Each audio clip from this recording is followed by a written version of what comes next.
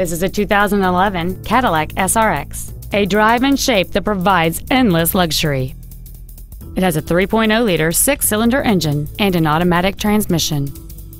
Its top features include adjustable driver pedals, memory settings for the driver's seat's positions, so you can recall your favorite position with the push of one button, steering wheel mounted cruise control, a premium sound system, a leather wrapped steering wheel, a locking rear differential, aluminum wheels, a low tire pressure indicator, a sunroof, and an anti theft protection system.